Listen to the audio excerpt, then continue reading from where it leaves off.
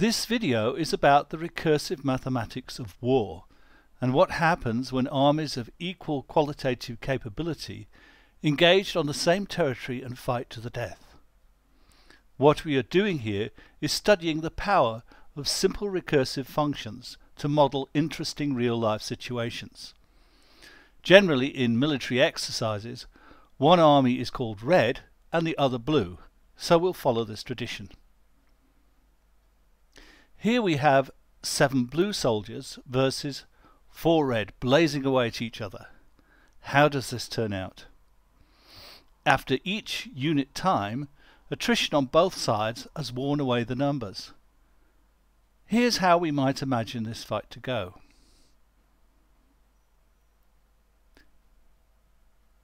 So at the end, three blue soldiers are left standing.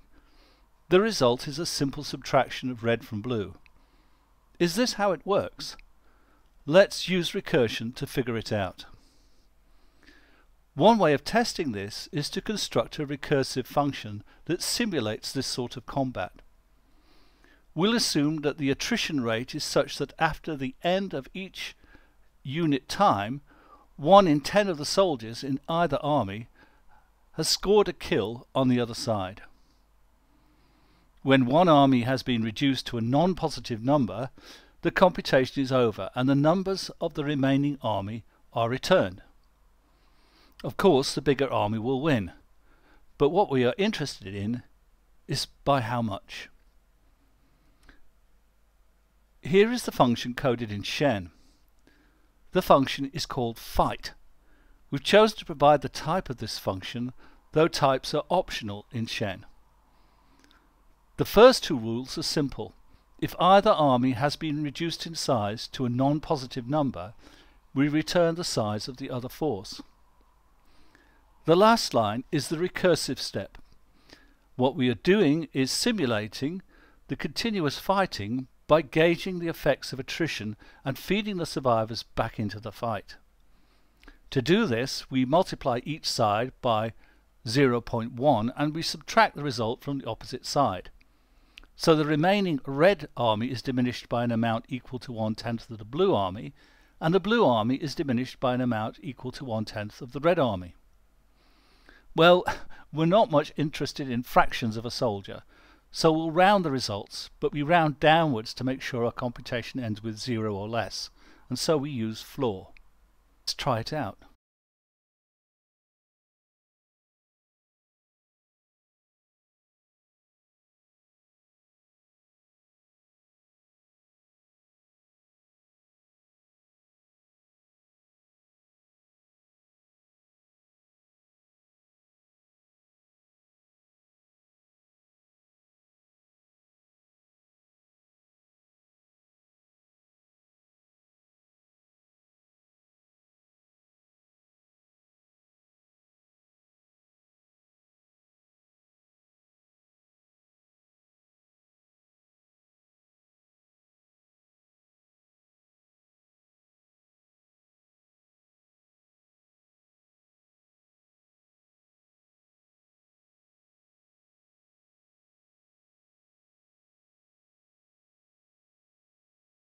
Our experiment shows that our simple subtraction model does not seem to fit the results we are getting.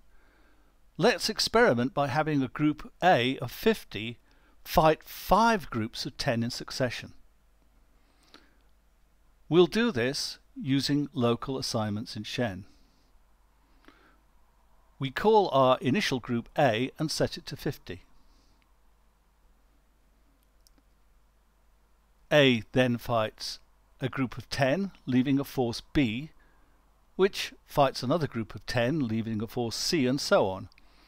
And we continue until we reach a force F, and force F, the number in force F, is then returned. By the subtraction model, force F should be zero.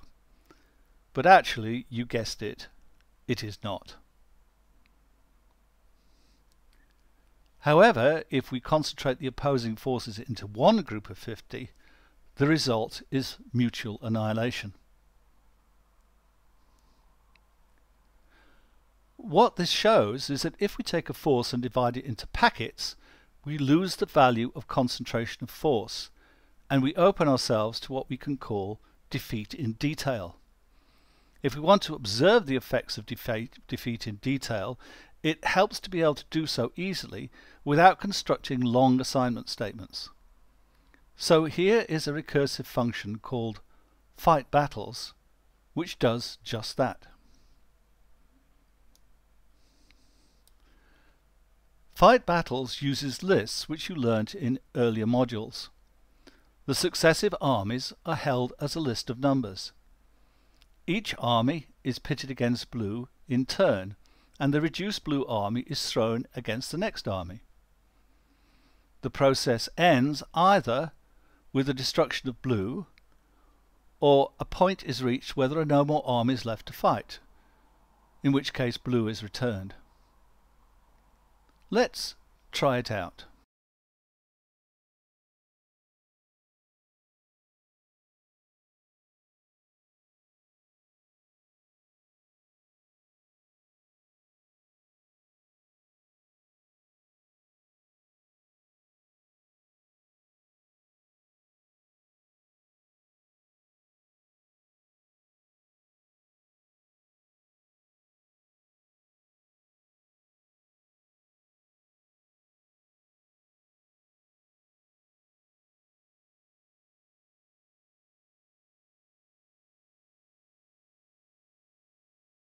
That's interesting. Our smaller blue army has defeated a series of armies which are cumulatively larger than blue. Our analysis shows it is possible for a smaller force to defeat a much larger one if the larger force can be maneuvered into engaging in detail rather than en masse. The mathematics of this was worked out just over a hundred years ago by a mathematician called Lanchester, who used calculus to do it, computers being obviously in short supply. The result is called Lanchester's square law, and it says that the effectiveness of a force in a projectile war is proportional to the square of its numbers. Now this was actually something that was understood long before Lanchester did his work. In the Battle of Jutland, 1915, a great naval battle between the British Grand Fleet and the German High Seas Fleet, Admiral Scheer, the German commander, endeavoured to split the Grand Fleet into two and engage the two parts separately. And he nearly succeeded. Admiral Beatty's detachment, narrowly avoided being decoyed into a trap, and had to flee 50 miles, chased by the Germans. In World War II, Montgomery criticised the British tactic of scattering armour in what he called penny packets and used concentration of force in El Alamein to break Rommel's army. Artillery barrages like these were familiar in the Eastern Front. As Stalin remarked, quantity has a quality all of its own.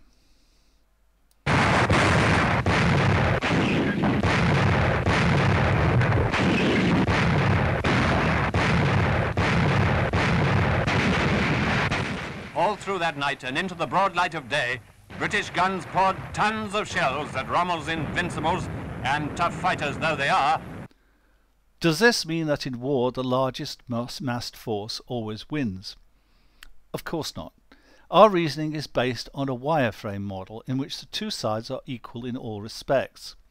But a smaller force has defeated a larger force where the firepower, attrition rate that is, of the smaller force is considerably greater than the other side. A paradigm is the Battle of Rorke's Drift, where a company of British soldiers, armed with Martini Henry single-shot rifles, held off several thousand Zulus, armed largely with stabbing spears. Our fight function treats the attrition rate as constant, 0.1 for both sides. However, we could instead choose to enter these attrition rates as a parameter to be input to the fight function, a process called parameterization in computer science. We could then simulate the confrontation of forces which were technologically disparate. But I'm not going to spoil your fun by doing that, but I'll leave it to you to download Shen and try for yourself. Now, A last word now on a contemporary event, which is the war in the Ukraine, uh, a subject which has taken up a large amount of column inches in the last few months. It is important to see that the principles of combat that we have studied here are in active application right now in the Ukraine, particularly in respect of the Russian conduct of operations. Let's go back in time to March 2022 when the war map looked like this.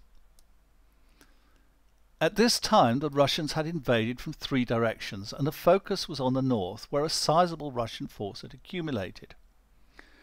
The effect of this force was to draw out a lot of Ukrainian manpower to protect Kiev. It's not clear whether the Russians intended to take Kiev or more likely to bring the Ukrainians to the negotiating table. Whatever the truth, the Russian presence near Kiev acted as a fixing operation. That is to say, it drew a sizable force to act as a deterrent to attack. And you can think of a fixing operation like a feint or a jab in boxing, which sets up the opponent for a serious punch. Now this war map was to radically change when the Russians withdrew from the north. But prior to withdrawing and after, the Russians mounted a massive attack on the Ukrainian logistical system. In particular, transport, railways and bridges and ammunition dumps. And the effect of this was to make it difficult for the Ukrainians to reinforce areas under attack. Then subsequently the Russians withdrew from many positions in the north and concentrated their forces in the south and particularly the east. We don't know the exact size of the Russian forces engaged in the Ukraine, but the quote is from 150 to 250,000 men, not vastly different from the 200,000 men credited to the Ukrainian army at the start of hostilities. However, as we've learnt from our model, equivalence in size to the enemy means little when the disposition of the troops is unfavourable. By concentrating their force in the Donbass, depriving the Ukrainians of mobility and delivering the big punch there, the Russians open the door to defeating Ukraine in detail. The Ukrainian counterattacks can be seen as a way of drawing away this concentration of power, but these attempts have made little difference to the mathematics of this conflict. The Ukrainian war has two dimensions, space and time. I've talked about the spatial distribution of these forces, but I also want to include time. There has been an attempt by the West to bolster the Ukrainian forces with a miscellany of weaponry, some perhaps rather past their sell-by date. However, these weapon systems are fed by dribs and drabs to the front, and the observations we've made about defeat in detail still hold good. If a large body of trained men and equipment were to arrive en masse, then this might indeed change the course of the war. But the piecemeal reinforcements suggest that Lanchester's law will continue to ensure that these forces are consumed very shortly after they arrive, which seems in fact to be happening. So, will the Russian divide and conquer strategy work? Well, I am not going to issue a prediction. I'll just say that time will tell. Well, I hope you found that interesting, uh, the modeling of conflict through recursive equations. Um, do subscribe as I produce more Shen videos and keep our work going by donation to the Shen project page using the donations page link. I do hope you've enjoyed this presentation.